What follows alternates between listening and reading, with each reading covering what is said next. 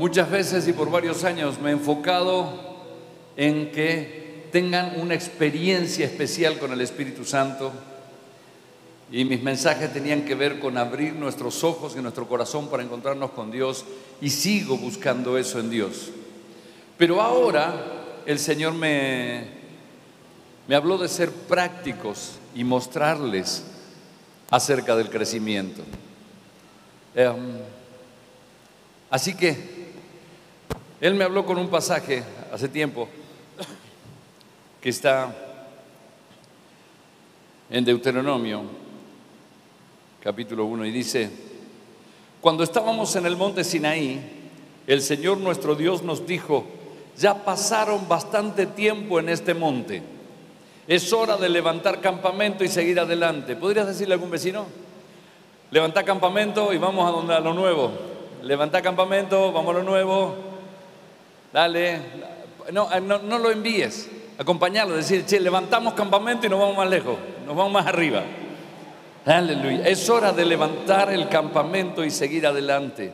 Vayan al territorio montañoso de los amorreos y a todas las regiones vecinas. El valle de Jordán, la zona montañosa, las colinas occidentales, el Negev, la llanura costera. Vayan a la tierra de los cananeos y al Líbano y avancen hasta el gran río Éufrates. Y dice, miren, miren, les doy toda esta tierra, entren y tomen posesión de ella. Miren, les doy toda esta tierra, vayan, entren y tomen posesión de ella. Quiero avisarles que ya hemos estado bastante tiempo en los lugares que tuvimos hasta ahora y la peleamos bien. Pero es hora de levantar campamento y levantarnos y mirar que Dios nos entregó toda la tierra y es tiempo de empezar a movernos y a conquistar y a traer esa gloria y esa victoria sobre nosotros. ¿Cuántos me dicen un amén fuerte en el nombre de Jesucristo de Nazaret? Aleluya, gracias Señor. Así que voy a volver a la rueda, vamos a inventar la rueda. A ver si ponen la placa que aunque empezamos el mensaje que no pude terminar. Yo les voy a compartir siete puntos que completan la rueda del crecimiento. Puse un hexágono, que era el, que me apareció en internet, no vi un heptágono ahí, pero la rueda va a ser más redonda cuando tenga los siete puntos. ¿Está de acuerdo con eso? Hay pastores que tienen todas las ganas de crecer, pero tienen como rueda una tabla. Así que, mire, yo lo que iba a hacer, no me di cuenta, lo pedí tarde en realidad, era ponerle un eje a cada una de estas para que usted se visualice bien. Un eje acá, un eje acá, un eje acá y un eje ahí. Si usted arranca con esta rueda va a estar complicado. Si hace dos cosas nomás de la visión va a estar complicado para avanzar. Si usted hace tres, es posible que ande un poco con su rueda, acá está el eje. Es posible que ande un poco, pero va a andar a los saltos. Si hace con una rueda cuadrada, se usa como broma que tiene una rueda cuadrada cuando le cuesta avanzar. Pero va a andar mejor con la triangular. Ahora, si hace una rueda no de seis, sino de siete puntos, le ponemos el eje acá, usted va a poder andar mucho más rápido y va a poder cumplir el sueño de Dios. ¿Se entiende o no? Entonces, el ministerio tiene dos esferas, la esfera celestial y la esfera terrenal. Estar en el monte, en la presencia de Dios, es parte de nuestro ministerio. Pero estar en la tierra, mirando y conquistando, es parte de nuestro ministerio. Siempre el ministerio tiene dos áreas. Cuando entraron a conquistar, se dividieron las tareas. Moisés tomó el área celestial y subió al monte y levantó las manos. Y Josué libró la batalla en la tierra, transpirando con espada en la polvareda y enfrentando. Siempre el ministerio tiene un área celestial y un área terrenal. Jesús tuvo una transfiguración impresionante y los discípulos quisieron quedarse a vivir en ese nivel y dijo, no, no, no, no, bajen que nos esperan algunos endemoniados ahí abajo. Y de hecho bajaron y tuvieron que empezar a ver espumas, vómitos, gritos, gente que le dice, no pudieron echar fuera a esta gente. Y uno dice, no, vamos al monte. No, Señor, hay que hacerlo de allá y hay que hacerlo de acá. ¿Está de acuerdo conmigo? Entonces ahora vamos a hablar de lo de abajo, no de lo de arriba.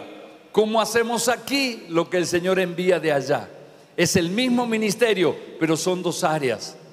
Hemos sido el Moisés de los brazos levantados muchas veces mientras algo hacíamos en la tierra, pero ahora en esta palabra usted va a ser el Josué que va a tomar el espíritu de Josué para la conquista, que batalla mientras también oramos y mantenemos la presencia de Dios en el cielo. ¿Me sigue? No pude terminar ayer, así que le hago un pequeñísimo repaso de lo que hablamos ayer de los dos primeros pasos. Uno, evangelismo sobrenatural. Las señales le ponen la firma de Dios a lo que hacemos.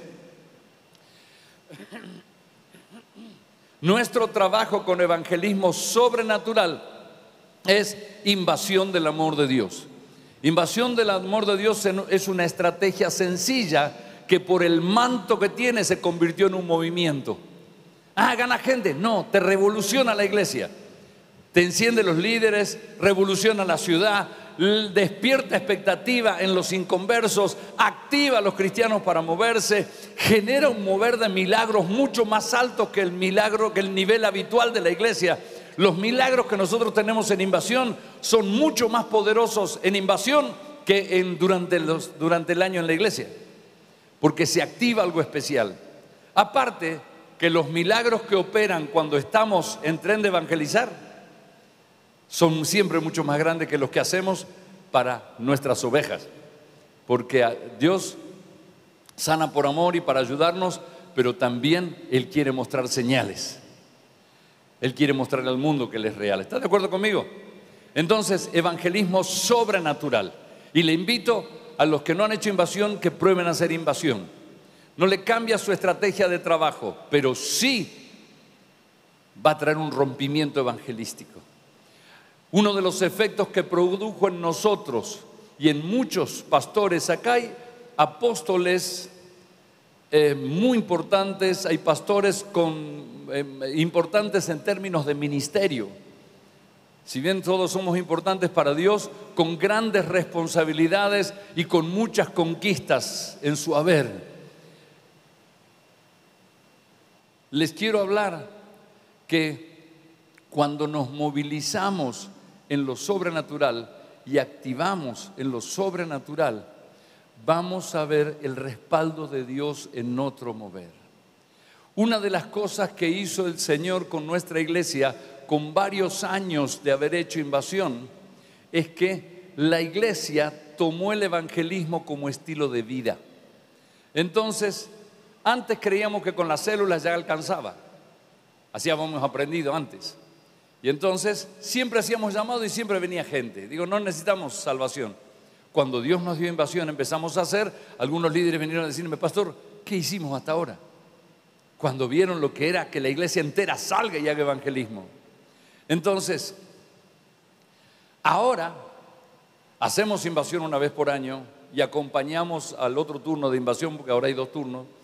Sin embargo, Ahora las redes hacen cruzadas, las redes se juntan en las plazas y trabajan, llevan este espectáculos, la gente viene, los evangelizan. Se movilizó. Antes no hacíamos invasión y no hacíamos otra actividad evangelística, solo las células. Cuando entró este, invasión a la iglesia, en el transcurso de dos años, tres años, se prendió la mecha evangelística dentro del pueblo entonces eso significa un cambio profundo en la cultura de la iglesia. Así que quiero animarles a que tengan un ministerio sobrenatural. Y si ustedes tienen una estrategia de evangelismo que le está dando súper resultado espectacular, sígala. Pero si está peleando y no logra ver los frutos que quiere en evangelismo sobrenatural, le invito a que haga invasión. Por eso estamos explicando, enseñando, hay un stand de invasión donde usted le van a explicar, le pueden dar material, le van a dar, este, usted le puede dejar sus datos para que nosotros podamos eh, avisarle cuando hacemos los entrenamientos online para, para, para compartir, a veces cosas que conocemos, otras que vamos reforzando, pero lo cierto es que el mundo tiene que ver la gloria de Dios y este es el tiempo de hacerlo y la iglesia se tiene que movilizar. Así que Dios nos está empujando. Estoy escribiendo un libro que se llama El despertar de la novia, donde entiendo cómo la novia dice, mi corazón dice, yo dormía, pero mi corazón velaba y vino el novio y no lo pudo agarrar, no lo pudo encontrar, se desencontraron, ella salió detrás y terminó golpeada y perdiendo el manto. El Señor me dijo, este es el tiempo en que Dios quiere despertar a la novia para que lo reciba, para que reciba el último tiempo, para que active en Dios y que no nos desencontremos ni nos quiten el manto de encima, sino que la iglesia se establezca, se afirme y muestre la gloria del cielo. Que alguien diga un amén sobre eso, ni nos preparemos. Así que en vez de hablar de lo del cielo, voy a hablar de la transpirada acá abajo entre los inconversos, los endemoniados y los que nos cascotean los, cultos. Y ahí vamos a ver las victorias. ¿Está listo? Bueno, uno, evangelismo sobrenatural. Ya le acabo de hablar. Hágalo. Y deje que Dios le ponga la firma a todo lo que haga. Aleluya. Confirme con señales. Segundo, hablamos del poder de la intercesión enfocada.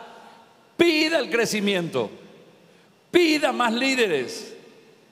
La oración principal de los que servimos a Dios en términos ministeriales es pedir por obreros más que pedir por las almas.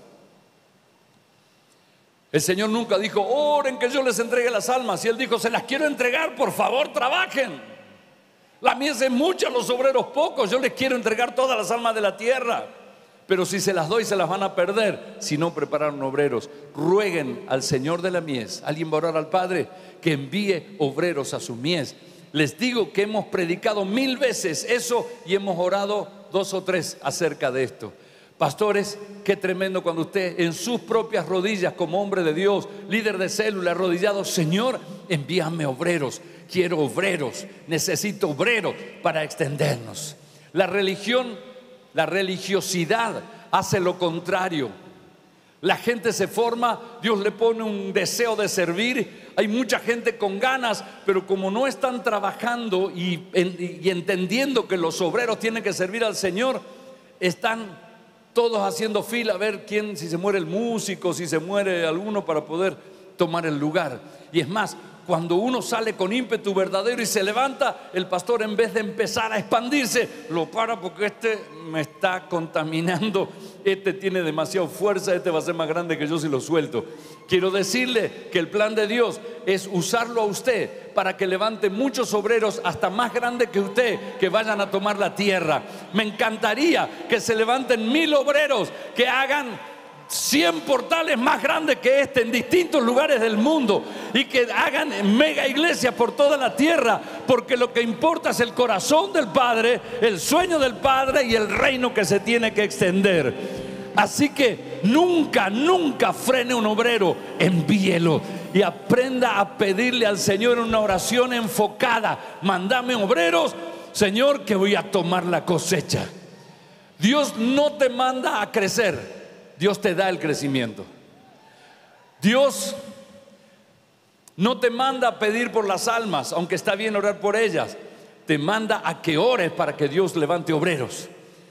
Dios no te manda a crecer, pero atento, sí te manda a recoger la cosecha. Así que tenemos que orar por los obreros para ir a recoger la cosecha. Aleluya.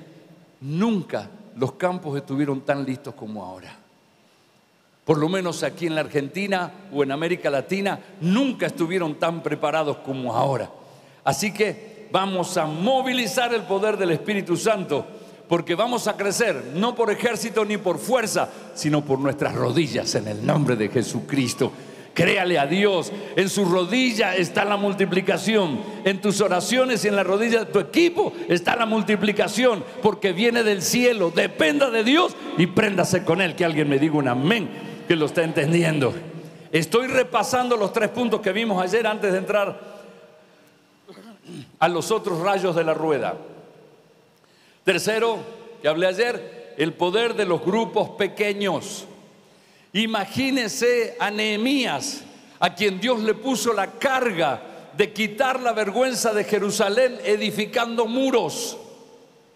Qué bueno que estamos edificando la nueva Jerusalén y que tenemos que edificar los muros que estamos preparando de esa nueva Jerusalén que viene. Jesús dijo, yo mismo edificaré mi iglesia, por eso dependemos de Él. Pero Corintios dice, somos colaboradores de Dios en la tarea de la edificación, ¿sí o no? Ahora, como colaborador de Dios, la clave es el trabajo de los obreros que lo están haciendo. ¿Cuántos me entienden? Aleluya. Imagínese a Nehemías diciendo, Señor, voy a edificar el templo de Jerusalén, el templo, voy a edificar, reedificar las murallas de Jerusalén. Y Dios le dice, sí, te envío, provéeme los recursos, sí, te los proveo. Y usted lo mira a la semana, el muro a esta altura, cinco metros de muro, y Nehemías solo con un par de ayudantes colocando ladrillos. El trabajo que se hizo, que Dios nos puso como modelo, es que Él repartió el trabajo y había muchos lugares en la ciudad, alrededor de la ciudad, donde estaban edificando. Sería imposible llegar a los, a los decenas de miles y a, a los cientos de miles que estamos queriendo llegar nosotros. Sería imposible si no tuviéramos seis mil lugares del muro en la ciudad que están edificando junto conmigo cuando nos reunimos al sonar de la trompeta en los cultos. Necesitamos expandirnos y llenar de púlpitos la ciudad.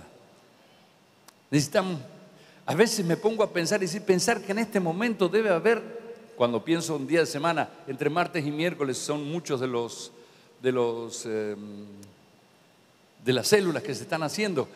Cuando estoy pensando, digo, pensar que en este momento Alguien está hablando de Cristo en por lo menos cuatro mil lugares este día.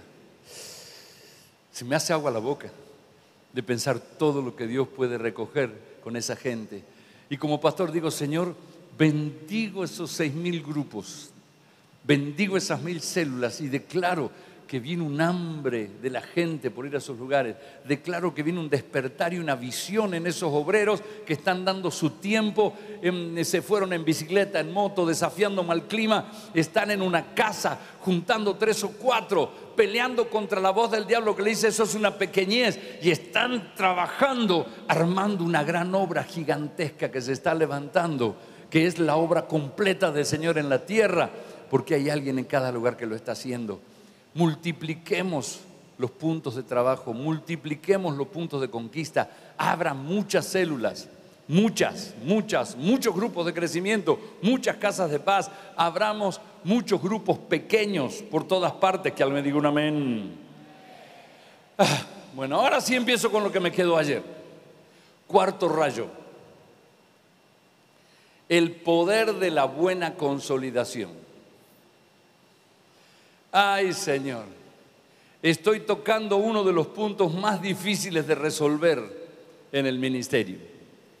Usted los manda a evangelizar y todos sonríen y salen corriendo. Los pone a orar y muchos sonríen y salen corriendo. Los manda a consolidar y algunos le hacen cara larga. No, porque ya está, porque sí, no sé por qué. No los entusiasma a veces hasta que a algunos se le despierta el poder que hay en la consolidación y empiezan a ver cómo Dios opera. Jesús le puso mucha atención a la consolidación. La obra de Cristo le puso mucha atención a la consolidación. Así como el infierno está enfocado en los niños, en los bebés espirituales. Así nosotros tenemos que aprender a enfocarnos en la consolidación. A veces es tediosa, es cansadora y hasta puede ser aburrida si usted quiere. Yo creo que no, pero para algunos sí. Pero es un rayo de la rueda que no puede faltar. Todos son importantes y ese es muy importante. Jesús arrancó un avivamiento en la ciudad de Sicar, en territorio de los samaritanos. Y cuando se desató el avivamiento, dijo, listo, misión cumplida, me voy a otra aldea. No, Señor, se quedó con ellos varios días porque había que consolidarlos. Cuando él se encontró con el endemoniado al que fue a buscar en Decápolis y en la ciudad de Gadara se levantó. Y el hombre aceptó al Señor, lo recibió, se liberó. Le dijo, quiero seguirte. No, papi, alguien tiene que consolidar toda esta gente. Así que anda a tu casa y contales lo que Dios hizo. Y empezó en una casa, en una célula, dice, y después el hombre, dice la Biblia, en toda su casa y por las ciudades contaba lo que Dios había hecho sobre él. El lugar no quedó descubierto. Jesús se encargó de que alguien consolide a esa gente. Amados, Dios nos da cosechas enormes y a veces Dios nos da 10 camionadas del fruto de Dios y nosotros venimos con una taza a juntar dos o tres y nos vamos y Dios dice, por favor que nada se pierda. El crecimiento, la extensión y los grandes ministerios dependieron en algún momento de la consolidación. ¿Sabe quién es Ananías? ¿Qué le pasó a Ananías?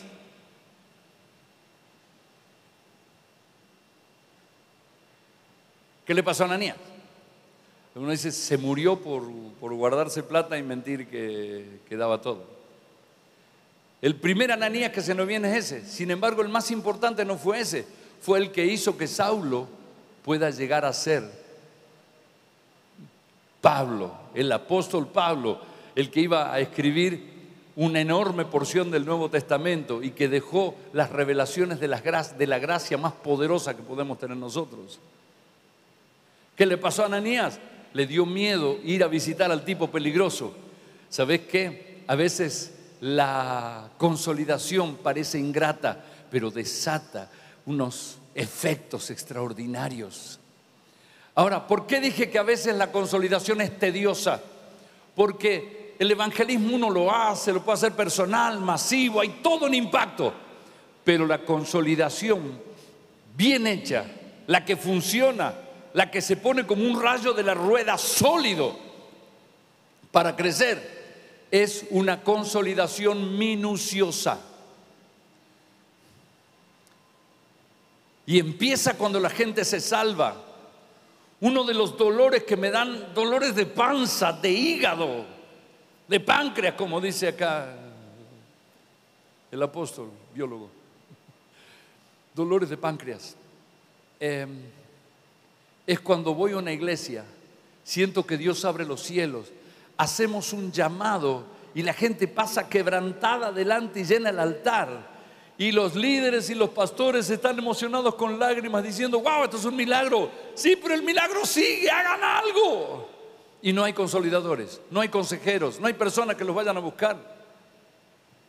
A veces les digo a la gente, por favor, alguien de la iglesia levante su mano, si podrá venir a anotar a que esta gente. La consolidación no es, bueno, tengo 20 que pasan a anotar y agarra todos los que puedes, que ninguno se pierda. Consolidación minuciosa, que ninguno se pierda, que ninguno se pierda. Les digo, a veces hemos hecho previsiones de consolidación bien intensa porque estamos tratando de adaptarnos al nuevo tamaño aquí cuando venimos a hacer la cruzada. Y nos pasó que a pesar de que preparamos gente y duplicamos la gente para anotar los nuevos, nos desbordaron.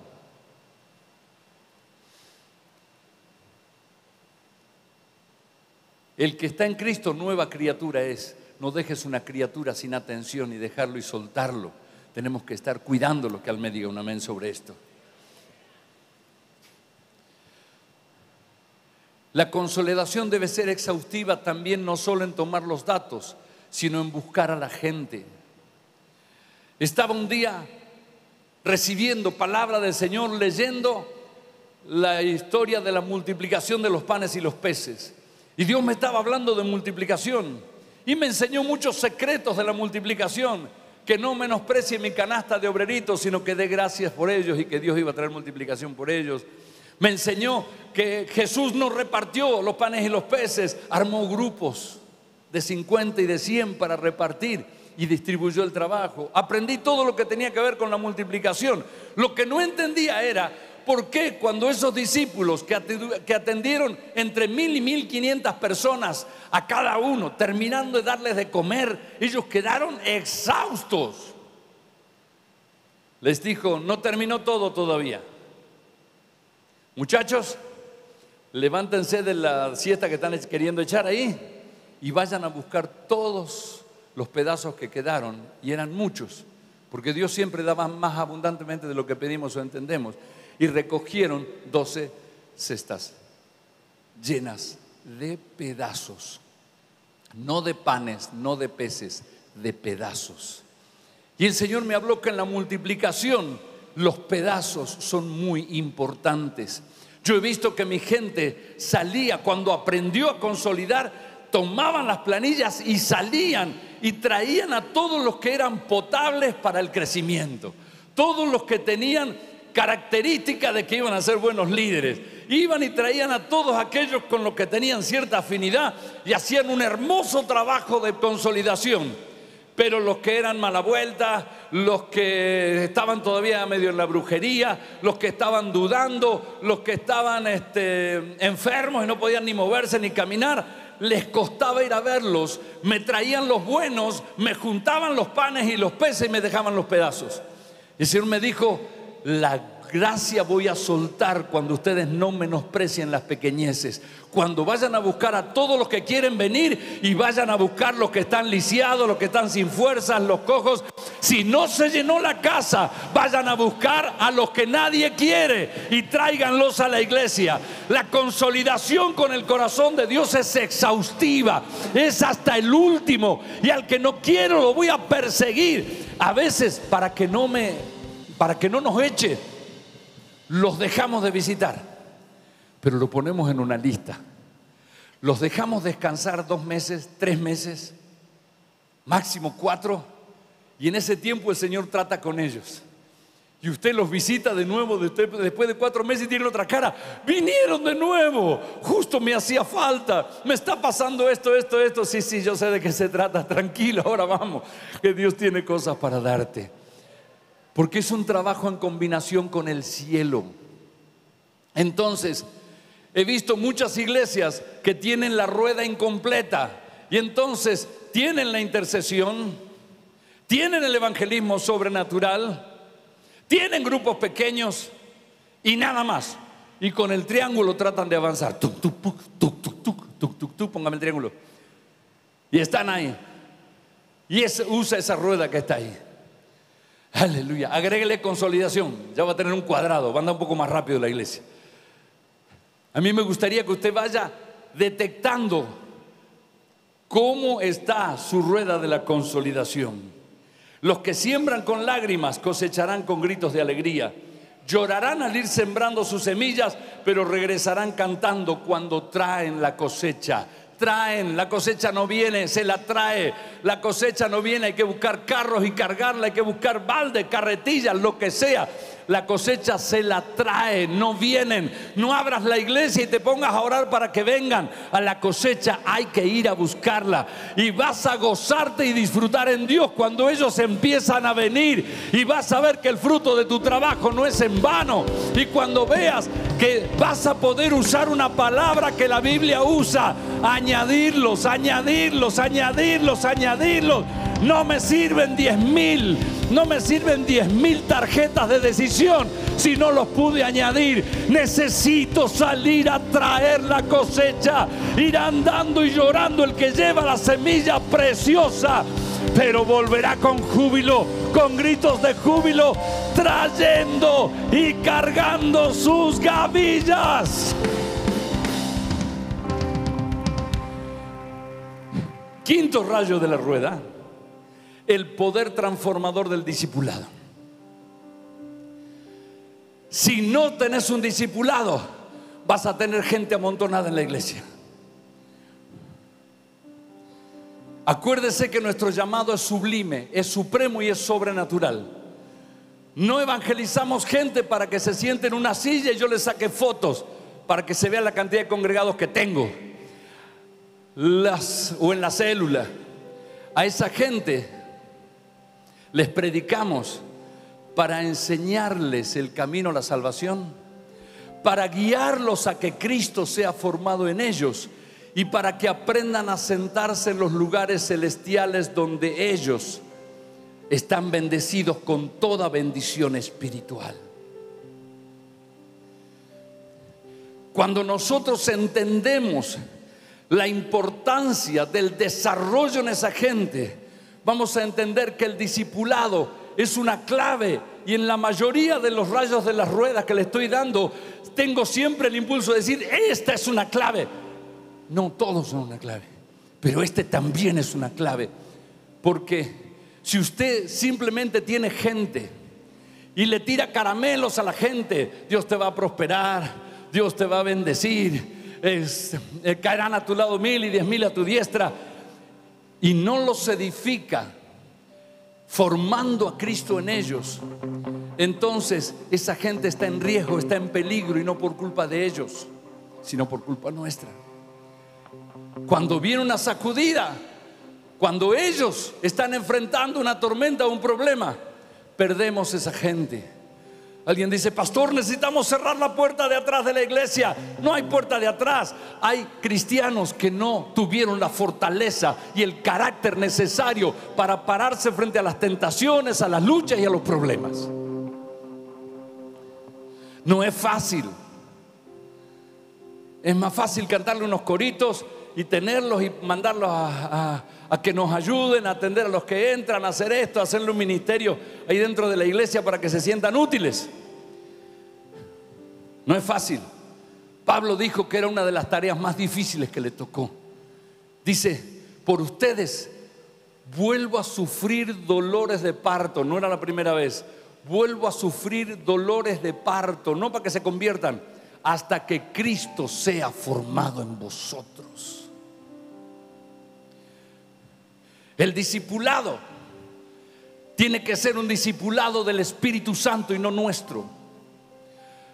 El discipulado religioso le enseña reglas y listas de cosas que tenemos que hacer los evangélicos. El discipulado de Dios, el del Espíritu Santo, les enseña a buscar las fuentes y a beber de lo que Dios tiene.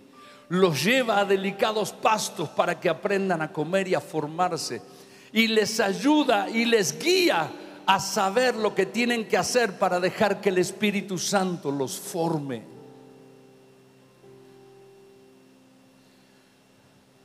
La palabra dice, les voy a cambiar el corazón de piedra y les voy a dar un corazón de carne. Yo pensé que eso era solo la conversión. No, ese es el inicio del trabajo de Dios. El discipulado ayuda a cambiar el corazón. El discipulado ayuda a quitar las estructuras que abulonaron los demonios y el sistema de este mundo por muchos años en nosotros. El discipulado correcto empieza a grabar en el corazón de ellos la voluntad de Dios. Cuando lo hacemos religiosamente, es como dice que lo que nosotros hacemos no fue como lo de Moisés. Lo de Moisés fue religión. La única religión autorizada del mundo fue la de Moisés. La única religión creada por Dios fue la de Moisés, donde Dios le dio los rituales que mostraban una sombra de que lo, que nosotros íbamos a vivir en la gracia y en la vida con Jesucristo. Y dice que nuestro ministerio no es como el de Moisés porque las tablas en las que se grabó la ley eran de piedra, como los corazones de los inconversos, y que las leyes fueron grabadas con cincel. ¡Pa, pa, pa, pa! Cuando nosotros le ponemos reglas a la gente, no hagas esto, no hagas aquello, no hagas lo otro, sin que haya una convicción del Espíritu Santo, estoy usando un cincel y estoy golpeando ese corazón, lastimando y trabajando en, en un territorio duro para escribir algo que el Señor quiere escribirlo con su Espíritu. Por eso cuando Pablo le habla, dice, ustedes son cartas escritas, leídas por todos, pero fueron escritas con tinta del Espíritu. No en corazones de piedra, sino en corazones de carne. Entonces, cuando dejamos que nuestros discipulados están guiados no por el número que quiero alcanzar, no mirando si este me va a servir o no para la multiplicación, cuando simplemente lo único que deseo es formar a Cristo en ellos.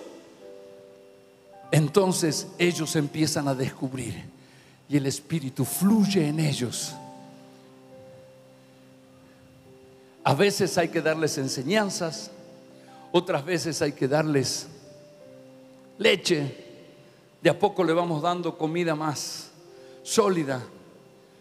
Otras veces hay que corregirlos. Y la Biblia dice, cuando corrijas, hácelo con amor. Yo me aseguro, y todos mis discípulos que están acá lo saben, cuando me siento a corregir un discípulo, van a salir con su alma en paz Muchas veces salen motivados a alcanzar lo que viene, nunca salen quebrantados. Nunca descargo mi enojo con ellos. Los abrazo y si le tengo que decir que lo que hizo fue una macana, se lo voy a decir, pero de una manera que lo edifique. Hijo, me llama la atención que alguien que tenga un llamado como el tuyo, que tenga un futuro como el que Dios te está por dar, no lo descalifico, como el que Dios está por dar, haya cometido ese error. Deberías revisarlo. Y la persona aprende. Por eso la Biblia dice que Pablo le decía a Timoteo, te ruego que aprendas de mí la forma de las buenas palabras que te enseñé. No dice si aprendiste las palabras que te dije, dice si aprendiste la forma en que te lo dije, la forma de las buenas palabras. Entonces le dejo que hagan, no señor, no malcríe, porque les haría daño. Estoy hablando de firmeza en amor. ¿Saben? Necesitamos formar a Cristo en esa gente. Segundo, abrirles la puerta al llamado a todos, porque todos tenemos un llamado. Necesitamos, ¿sabes una cosa? Cambiar nuestra cabeza para empezar a formar líderes de avivamiento.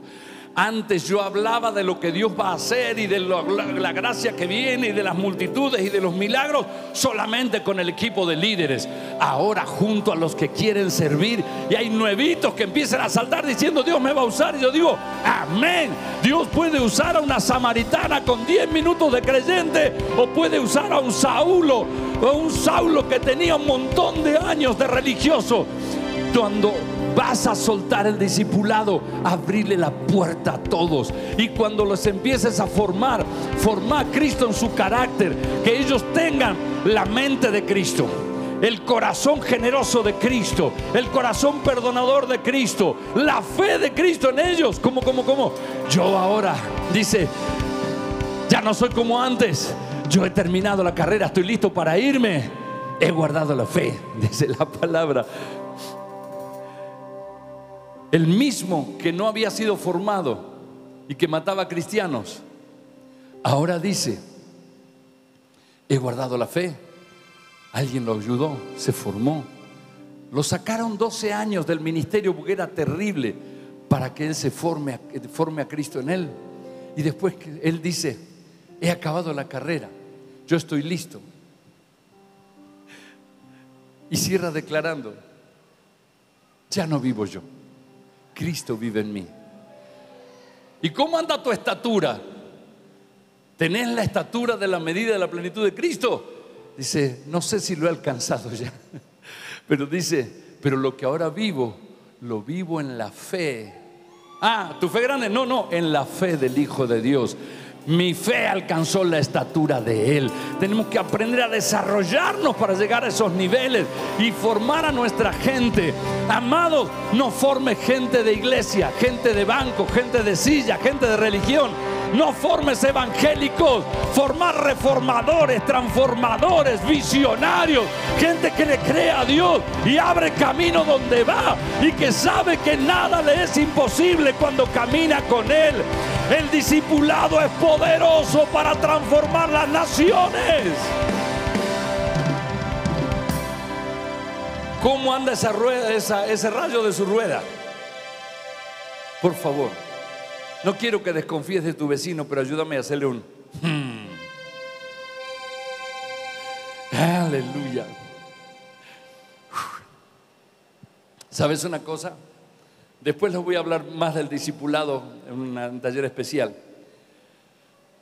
La Biblia dice que somos vasos de barro, vasos de barro, que contienen la gloria de Dios para que el poder de Dios para que la gloria sea de Él y no de nosotros.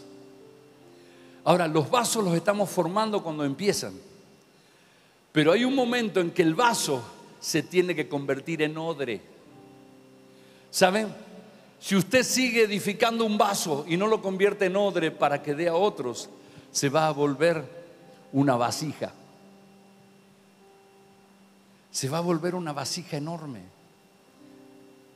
Y las vasijas no le sirven nada ninguna copa porque no pueden. Hacen chanchada en la mesa. Si usted quiere agarrar una vasija que pesa 80 kilos entre tres para servir una copita, va a ser desastre. Por eso las vasijas no dan. Un error de la antigüedad de años atrás era agarrar gente y darle, darle, darle, darle, darle información, agrandarlos así y de vaso pasaban a ser unas vasijas gigantes de conocimiento. El odre es pequeño, no es grande. Ya les voy a hablar de eso pero el odre está preparado para que pueda ir a cualquier parte, que sea portátil y que se pueda llenar y sirva para servirle al que necesita o al que desea. ¿Me va siguiendo o no? Aprenda a formar gente que dé a otros. Pablo se lo enseñó a Timoteo, lo que has oído de mí ante muchos testigos, esto encarga a hombres fieles que sean idóneos también para enseñar a otros. La visión de ser odre, de darle a otros. ¿Alguien me dice un amén? ¿Cómo anda ese rayo de, la rueda del discipulado? Sexto, yo quiero que usted vaya chequeando su célula o su iglesia para detectar si no hay un par de rayos que le hacen ruido cuando usted va andando. Yo a veces escucho ruidos de chapa en el auto. Y no sé si somos todos los hombres así, pero hasta que no sé lo que es, no descanso. Y le digo a mi esposa, ¿vos sabés que en el auto escuché un chiqui chiqui y me hacía así? Ah, bueno. El otro día estamos paseando, mira este chiqui chiqui que yo decía, ya está con el chiqui chiqui.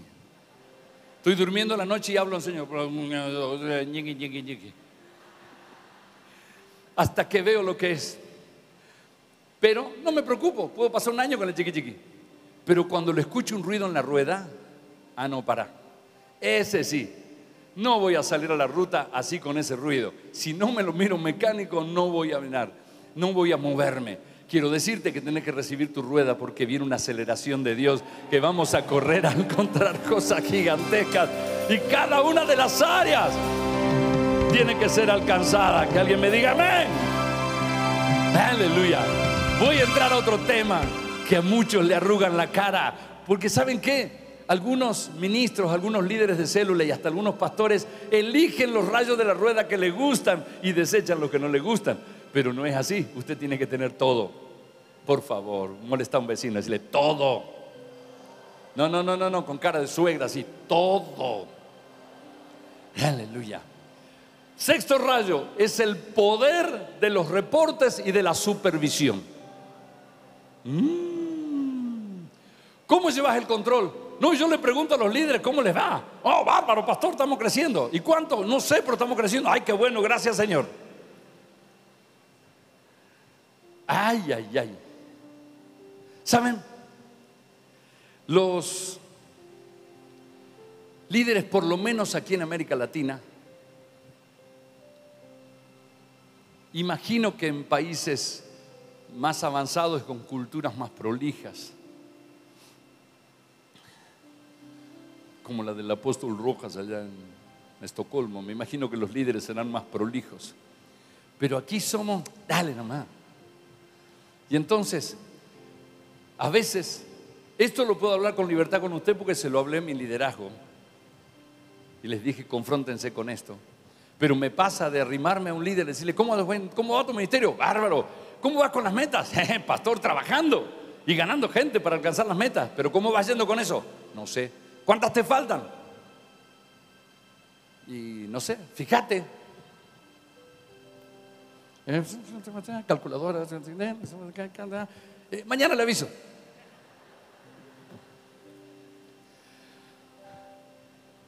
Pastores que tampoco llevan una supervisión de su gente. ¿Y sabes qué es eso? Trabajan, trabajan, trabajan, trabajan y no saben a dónde están mirando. Solamente se chocan con una frustración al final, al final de un periodo, en un año, un plazo de tres años para alcanzar algo que no llegaron, o cuando a fin de año dicen, che, somos los mismos, ¿qué pasó?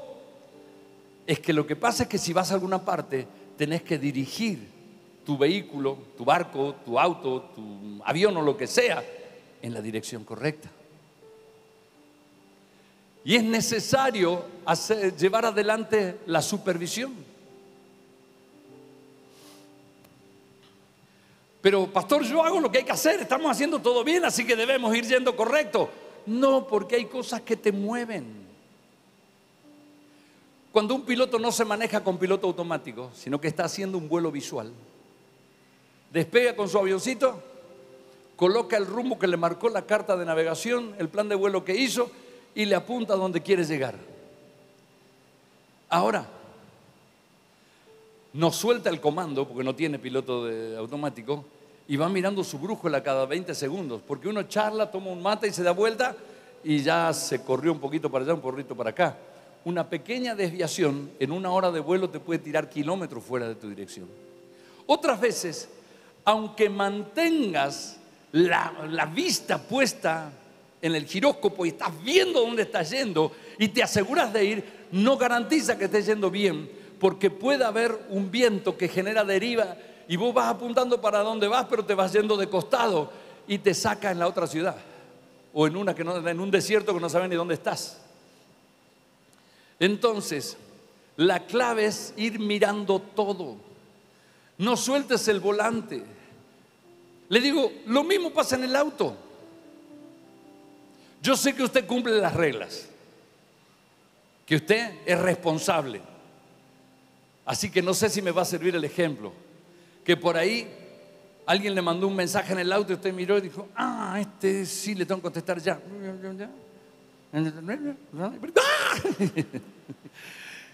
Y esos dos segundos casi lo sacan, ¿sí o no? Porque se rió. Usted es alguien que es santo, que tiene que caminar. No se lo digo por experiencia, sino porque me ha sucedido, decía Luis Landresina. ¿Saben? No sueltes el volante. Los cristianos, los obreros, los líderes y los que están eh, supervisando las iglesias, a veces sueltan el volante y dicen, no, pisale que salimos para el lado correcto y vamos yendo bien. Y hacemos esto, hacemos campaña, después venimos acá, ahora hacemos un retiro, ahora formo gente, ahora vamos a hacer una vigilia. Y el volante, no sé ni cómo voy. Hasta que por ahí los, botes en la banquina le hacen darse cuenta. Las mujeres cuando enseñan, enseñan todo con ejemplos de tortas y cosas de la cocina. Yo enseño todo de auto pero las mujeres me van a entender igual porque también manejan, ¿sí? Pero no sé si le pasó de estar manejando fuera de hora y medio dormilado y que usted parece más concentrado que nunca, pero no ve nada. Usted sabe que los ojos se cierran o se pueden tener abiertos y se cierran por dentro y uno no sabe dónde está. Me pasó más de una vez, dos creo que en mi vida, en que me dormí manejando. Cuando era joven era menos, menos cuidadoso en parar igual pero en, ese tiempo quería. Y me pasa que me despertaba por los saltos, y yo despertaba y me veía que estaba con medio auto fuera de la ruta y volvía. Menos mal que me desperté con eso y no porque había un puente, un poste o algo por el estilo, que eso hubiera sido feo. Amados, los pastores a veces manejamos sin manejar el volante y no supervisamos, no miramos porque es aburrido, porque a mí no me gustan las planillas, no me gustan los números. Y lo que suele pasar es que cuando vienen los barquinazos, que se le fueron unos cuantos, que perdieron gente en vez de crecer, quieren volver y se ajustan. Usted no pierde un centímetro de su viaje. Haga una supervisión semanal. Mire cómo están todas las planillas, pegue un vistazo. Mensualmente Mire las redes, cómo están. Usted mire cómo van la gente de sus células, de su grupo. Vea si hay células que no se hicieron y tome medidas ahí, corrija. No es lo mismo enderezar el volante cuando te saliste al medio de la, de la banquina que hacer pequeños ajustes. Cuando, entonces, ¿cómo anda tu célula? ¿Toda bien? Sí, la célula tal. Ah, esa, hace un mes y medio que no hace. Te saliste a la banquina. Si te dabas cuenta, el segundo día no perdías toda la gente de esa célula. Si te dabas cuenta, le hicimos un llamado, ibas a ajustar lo que estaba pasando, usted corrige y hace las cosas bien. Entonces, lleve registros, pida reportes. Si le sirven los que usamos nosotros, están a su total disposición. Tenemos hasta un sistema digital que estamos usando. Pídalo, no sé, lo que quiera, pero o, haga usted su propio plan. te digo, use lo digital, use planillas Excel, hágase hacer un sistema o hágalo con cuaderno como lo antiguo, hágalo en papiro si quiere, pero haga algo y mantenga el control de lo que está pasando, mantenga la supervisión para poder avanzar. Si falta esa rueda, ese rayo en la rueda, usted va a tener demoras, demoras serias, usted va a andar en zigzag en vez de caminar directo, directo hacia la meta. ¿Cuántos dicen yo tengo una supervisión excelente?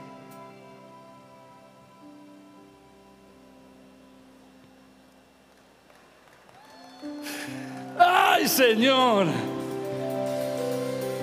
Ah, a usted le gusta cuando le predico del fuego, cuando le predico de la gloria de Dios que está cayendo sobre usted y me ponen cara cuando me bajo del monte de la transfiguración para llevarle a los endemoniados. Usted tiene que aprender a ajustar las cosas de la tierra sin soltarse el cielo y hacer que su ministerio establezca y crezca y se afirme en el nombre de Jesucristo de Nazaret. Aleluya. Cada semana yo hago una vista rápida de la información a nuestra gente. La Mesías de supervisión en nuestra congregación es mi esposa. Dios le puso una unción, un análisis a conciencia y ajustes rápidos. Mensualmente veo la tendencia que tenemos en el mes con una red, con un líder o con todo el ministerio. Y en forma cuatrimestral le enseño a los líderes que se confronten con la meta que están apuntando miren cuánto tienen y miren a cuánto deberían llegar. Entonces ellos si un cuatrimestre no alcanzaron, hacen ajustes para el siguiente, hacen un retiro con su gente, le enseñan qué cosas van a cambiar y cómo van a hacer y qué actividades van a hacer para completar lo que le faltó y van a apuntar a terminar el año con la meta cumplida. Me encanta la seriedad que tiene. Algunos pastores me miran con cara de pocos amigos. Séptima y última. Y después si quiero soltarlo del cielo. El poder de las reuniones ungidas. Amado, tenemos gente que tiene evangelismo, tiene milagros, tiene supervisión, tiene intercesión y tiene unos cultos chatos, secos y aburridos Ojo con los cultos religiosos.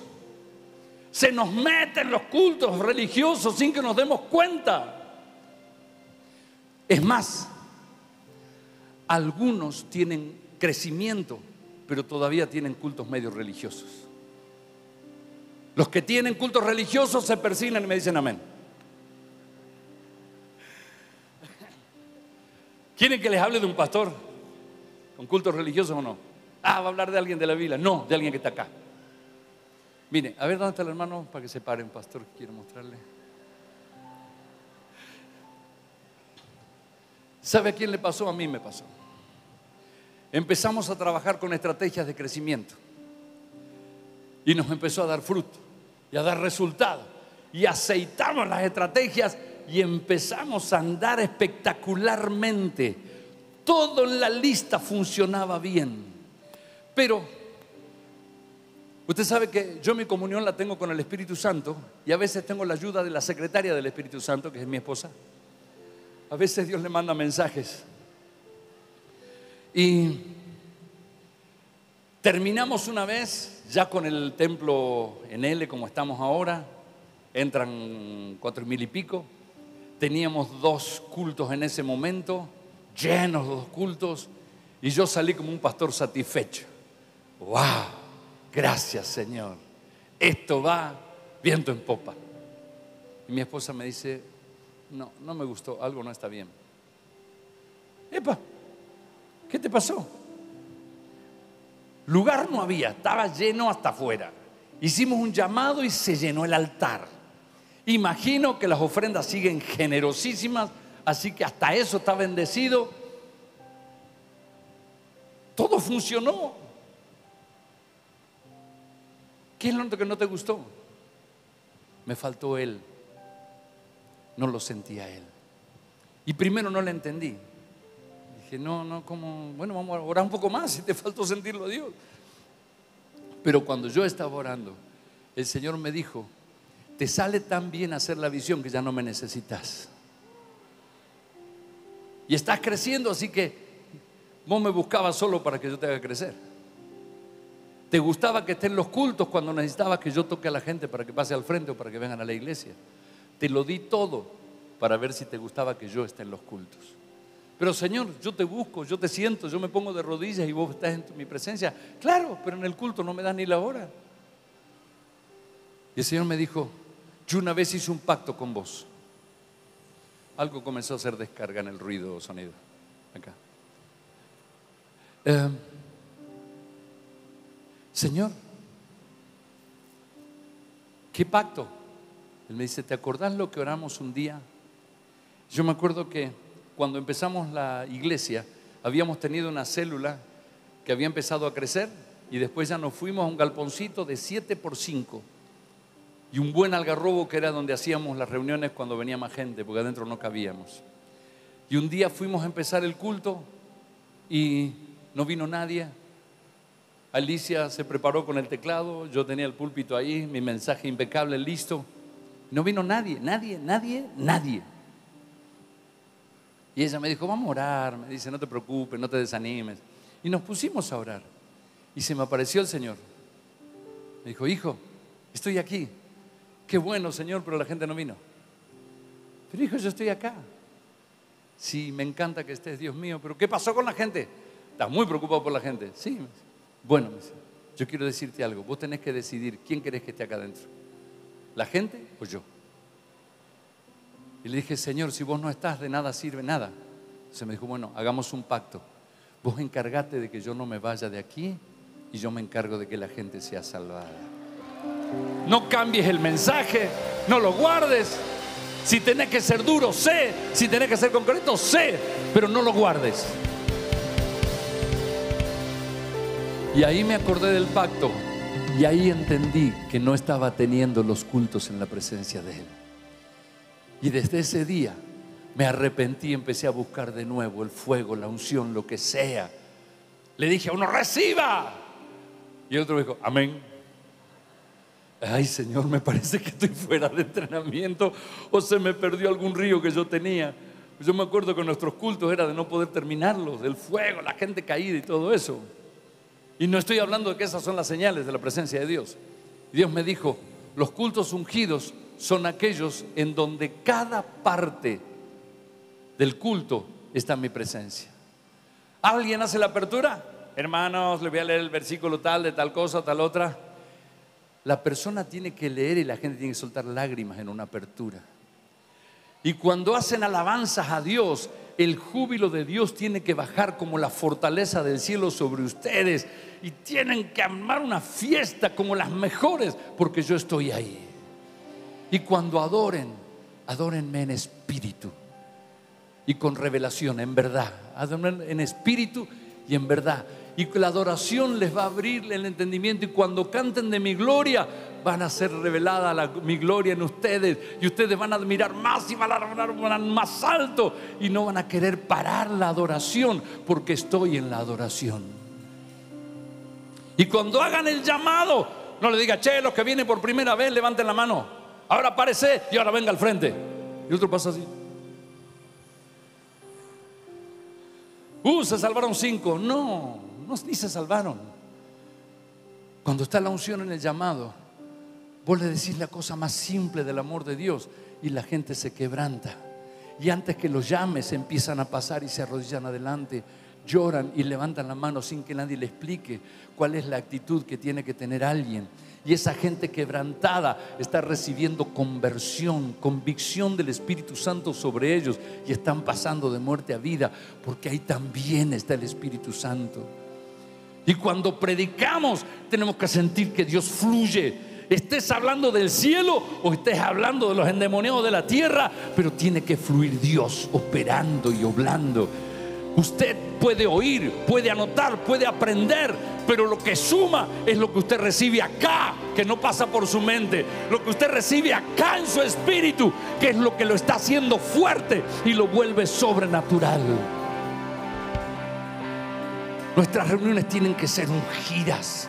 Cuando hace el cierre, hermano, Dios le bendiga, no me falta el domingo que viene. ¿eh? Cuando cerrás, desata una bendición.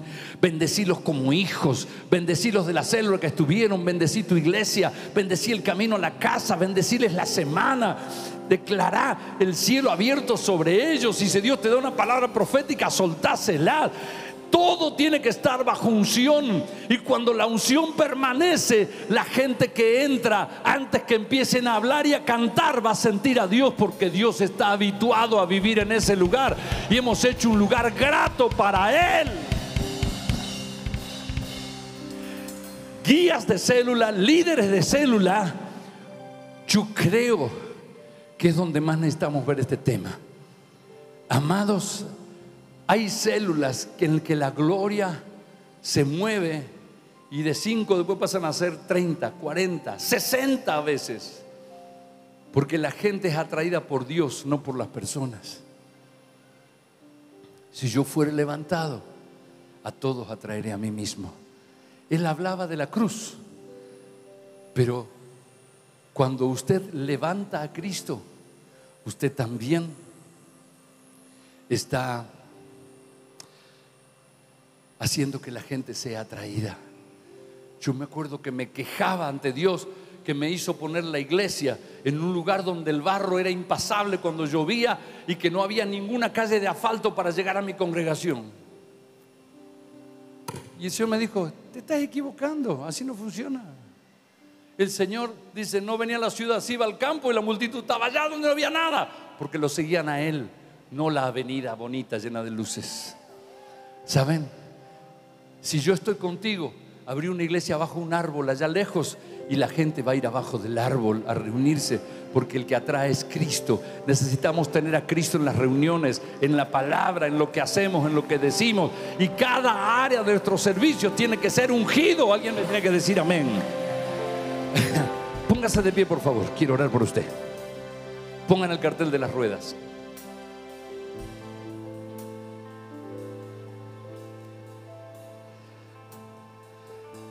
Chequee su célula, chequee su ministerio. Célula, ¿cómo anda tu evangelismo sobrenatural? Espere, espere, no pasen todavía al frente. ¿eh? Estoy por llamar primero a los endemoniados, así que no sé si. Aguante un segundo. Porque voy a hacer un llamado específico. No se apure, voy a hacer un llamado específico. ¿Cómo anda su evangelismo sobrenatural? ¿Cómo anda su intercesión? ¿Enfocada en pedir a Dios que cumpla? Pídale a Dios que forme a Cristo en sus discípulos. Pídale a Dios que le traiga crecimiento. Pídale la cantidad de gente que quiere. Pídale al Señor que lo haga usted cada vez más como Cristo. ¿Cómo andan tus grupos pequeños, ungidos? ¿Estás teniendo, los tenés, los están trabajando? ¿Cómo estás trabajando la consolidación? Agarrar lo bueno y dejar los pedazos. Se hace más o menos como puedan. Le das una orden vaga, che, vayan y consoliden todo. Ah, bueno, dicen los líderes. ¿Y no los miraste? ¿Estás formando a Cristo en tus discípulos? ¿Los estás enseñando a vivir sentados en los lugares celestiales? ¿Cómo son tus reuniones de célula? ¿Cómo son tus cultos? Dios tiene el predominio en todo lo que hagas, si tu rueda está incompleta te va a costar crecer. Pero si sos capaz de activar todo eso, Le pido que cierre los ojos un momento. Quisiera saber, ojitos cerrados, para que no chusmee el que levanta la mano. Si usted no está enfocado en Dios, no se preocupe, pero cierre igual los ojos, así no chusmea y estamos todos libres para levantar la mano. Aleluya. Me gustaría saber entre los hombres de Dios que sirven como pastores principales en una iglesia o los apóstoles. ¿Alguien reconoce que alguno de los rayos de la rueda estaba flojo? Amén. Baje sus manos, por favor. ¿Cuántos que no dicen que estaba flojo dicen tendría que hacer algunos ajustes igual para mejorar y perfeccionar? ¿Alguien siente que tiene que perfeccionar algo en su ministerio para crecer? Bendigo esas manos. ¿Cuántos están decididos a hacer ajustes para crecer más rápidamente? Padre, bendigo esas manos y declaro, Señor, que este es el tiempo de entrar a una nueva dimensión en el nombre de Jesús de Nazaret.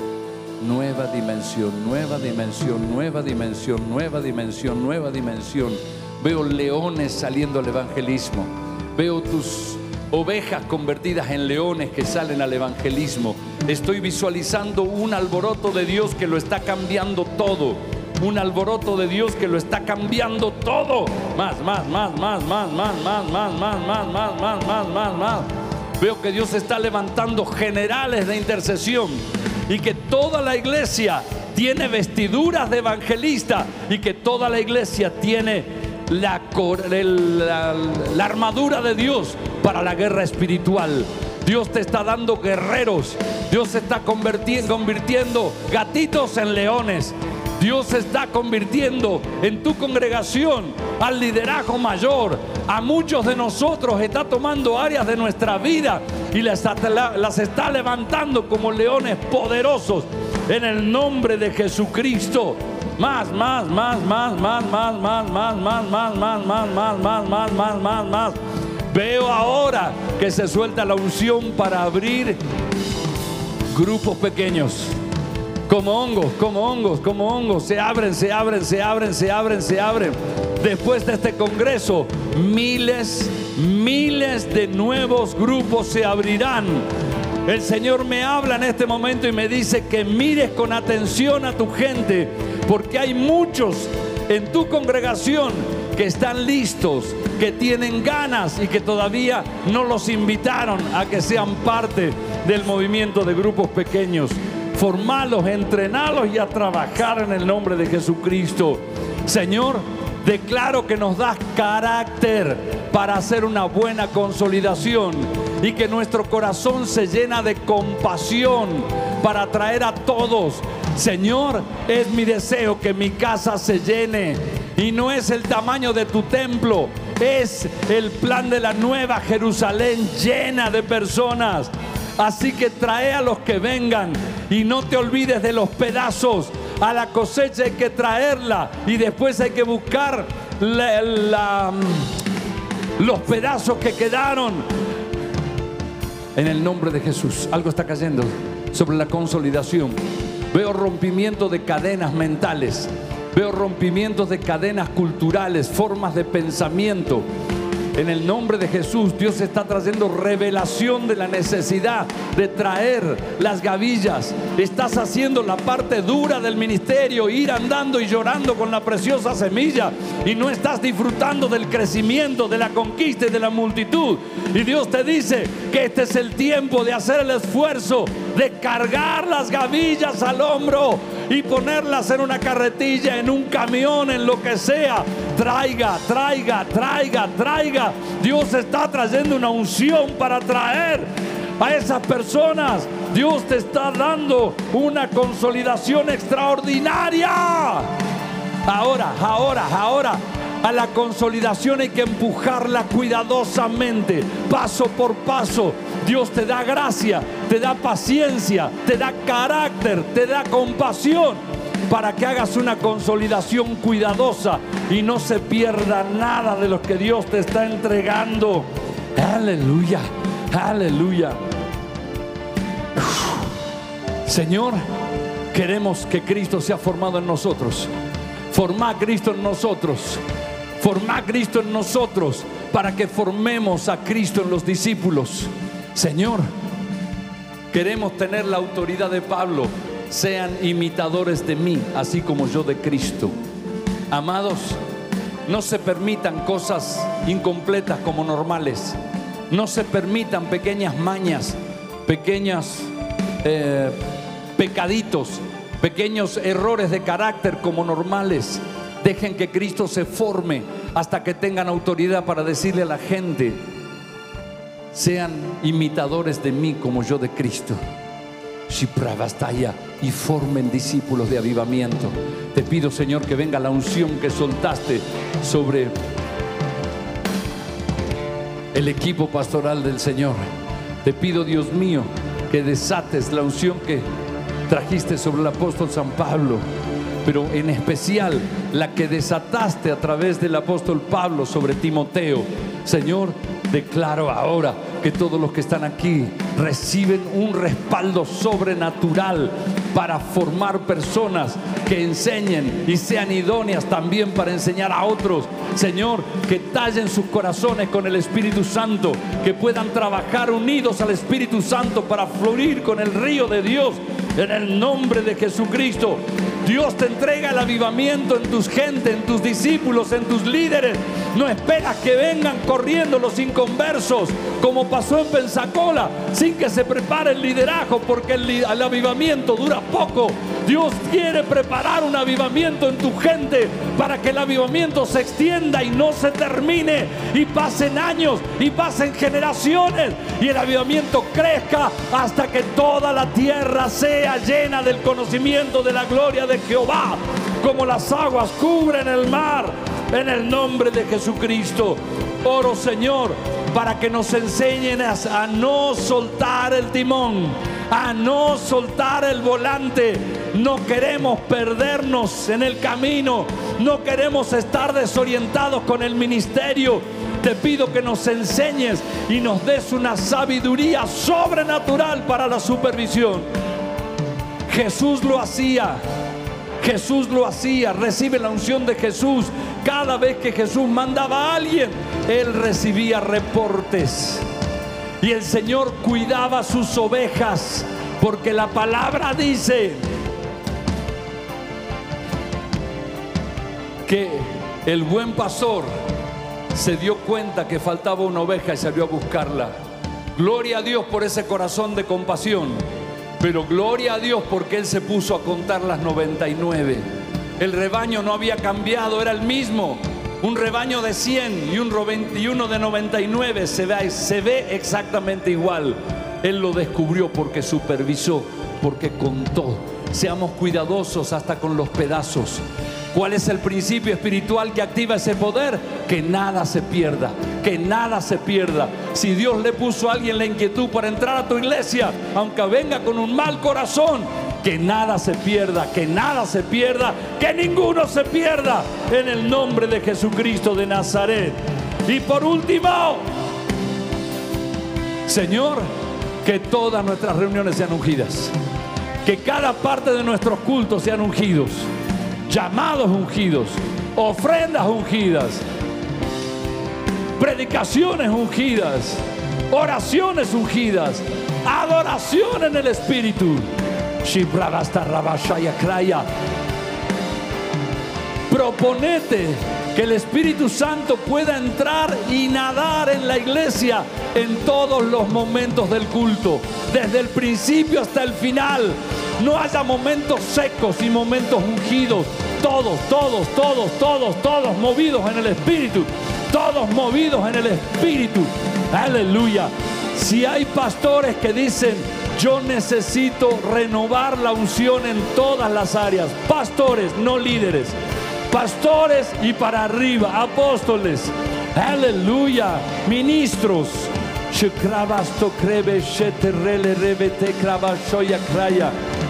Veo el corazón de Cristo en hombres de Dios que tienen miles de miles de líderes debajo de ellos, y pasan corriendo para ser ungidos. ¿Saben por qué? Porque el Señor escondió las cosas de los sabios y entendidos y se las reveló a los niños, porque así le da placer. Sé como niños, sé como niños. Puedo sentir una unción que me está quemando, me está quemando, me está quemando, me está quemando. Y ahora te va a empezar a quemar a vos. Decirle, yo te propongo que prepares un altar en tu corazón, por favor. Prepara un altar en tu corazón. Y decirle cuáles son los cambios que vas a hacer, cuáles son los sacrificios que vas a hacer. Y no le digas con la mente, cuando hablas aunque sea bajito, es un documento delante de Dios.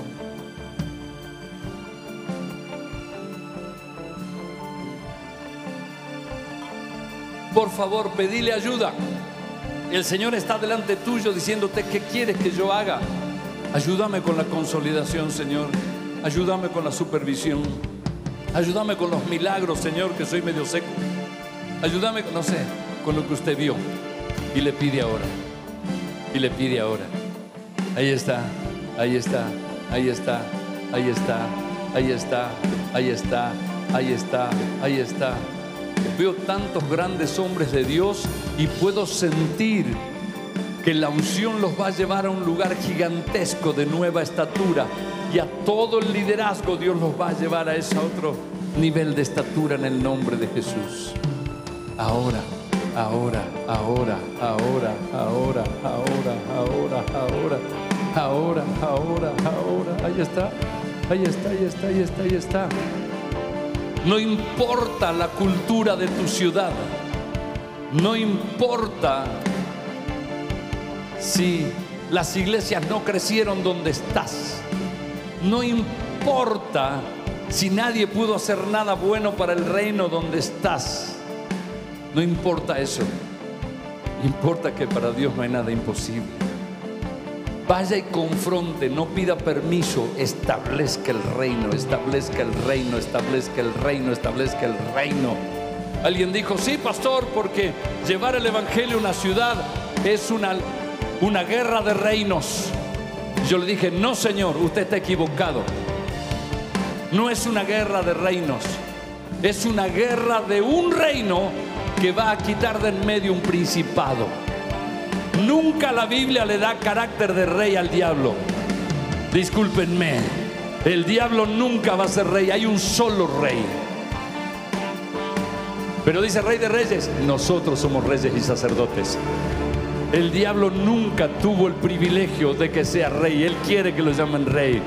Así que no pidas permiso, establecer el reino del rey supremo y echa fuera los principados que están operando ahora, ahora, ahora, ahora, ahora. No voy a soltar una unción para discipulado, una unción para, para supervisión, una unción para intercesión. Todo eso funciona bajo una misma unción, la unción de crecimiento. Ahora veo al Señor inclinando un recipiente gigantesco, gigantesco. Lo está inclinando lentamente sobre este lugar lo está inclinando sobre corazones que tomaron decisiones. Lo está inclinando sobre personas que dicen, Señor, gracias por todo lo que me diste, pero no fui yo, fuiste vos. Pero quiero más, quiero más, quiero más, quiero más, quiero más. Quiero cien veces más. Quiero cien veces más. Quiero cien veces más. Dígame cuánta gente tiene su célula o la iglesia o la red apostólica que estás llevando adelante. Y Dios dice, probá el primer escalón, multiplicarlo por 100, por 100, por 100, por 100, por 100. Si estás congregando 100 personas, decirle yo quiero 10 mil. Menos que eso no sería dimensión. Aleluya. Ajuste las cosas y empiece a ver lo que nunca pasó. Yo reprendo el espíritu de argumentaciones que está usando la frustración que tuviste en algunos años, en algunos intentos. para hacerte pensar que no se puede. Sé como niño, olvidándolo ciertamente lo que queda atrás, me extiendo a lo que está adelante para agarrarme de aquello por lo cual fui agarrado por Cristo. En el nombre de Jesucristo me despojo de todo peso, de las frustraciones, de los argumentos, de las cargas y del pecado que nos asedia. Para correr sin cambio de ánimo la carrera que tengo por delante. Señor, yo desato y activo la unción de multiplicación ahora.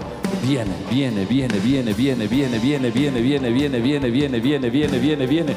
Veo bebés que están naciendo Veo muchas niñeras, muchas nodrizas cuidando bebeses, los cuidan con primor, no los dejan caer como a Mefiboset.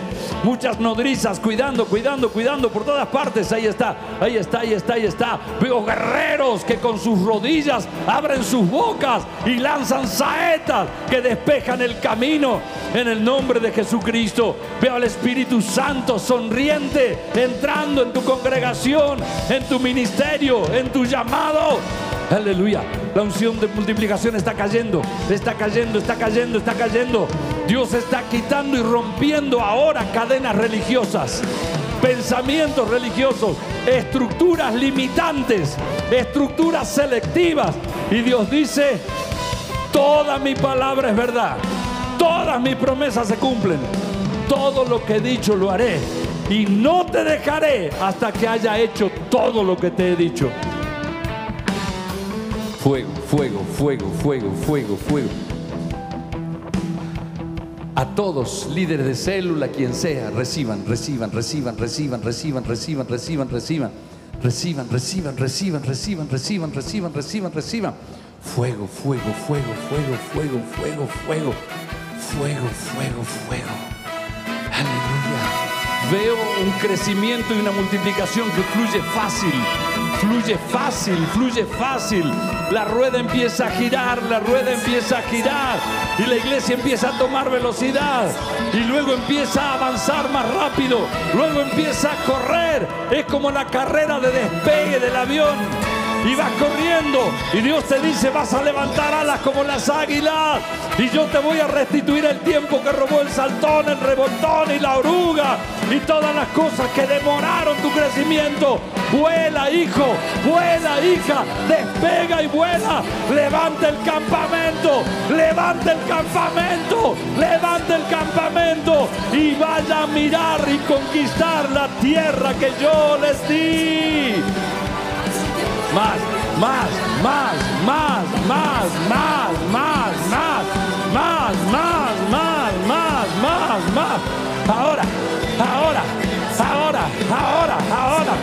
Pastores, un toque del Espíritu Santo que te hará diferente. Apóstoles, ministros, profetas, un toque del Espíritu Santo que te hará diferente, que te hará diferente. Ahora, ese es el soplo del Espíritu Santo. Despejar el lugar. El soplo del Espíritu Santo sobre esto.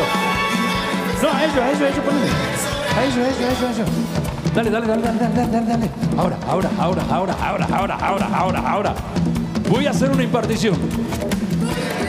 No necesitas sentir nada.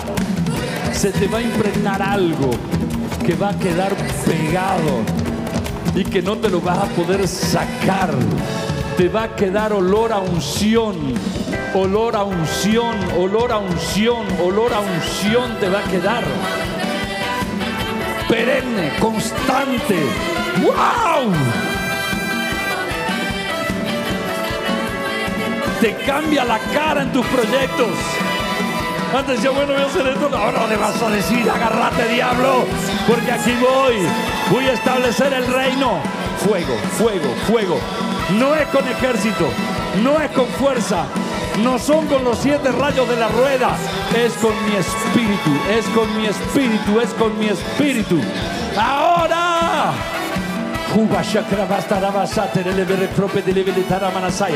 Viene, viene, viene, viene, viene. ¿Se anima que nos pongamos de acuerdo para pedir 100 veces más de lo que tenemos? 100 veces más.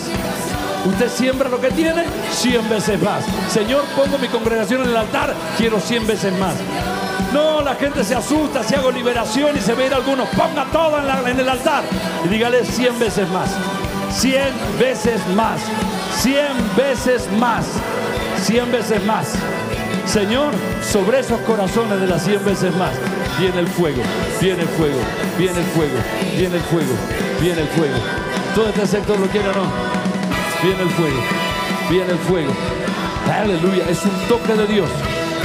El olor a crecimiento va a quedar impregnado y va a descender a tus líderes. Tus líderes van a orar no oveja, a crecimiento, avivamiento. Este sector en fuego. Uno, dos, tres. Fuego de crecimiento. Fuego, fuego, fuego. ¿Dónde están? ¿Dónde están los que quieren? Quiero saber quiénes son los hambrientos. Ahí están. Fuego. A ver, una bandera. Voy a hacer lo mismo que hizo ayer. Quiero llegar no tengo mano. Antes tenía una manito con un palito largo y yo le oraba así. Betty Croma, la tazara. Estos paraguayos se llevan toda la unción acá. Ya le conozco. Ya le conozco, ya le conozco. Fuego, fuego, fuego, fuego, fuego, fuego.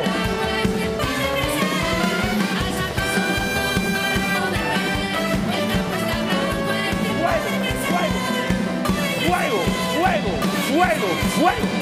Esperen, voy a usar otra manera. Devolverle, no, que unjan ese. Aleluya. ¿Me en agua? Aleluya. No podía llegar. ¡Padre! ¡Fuego!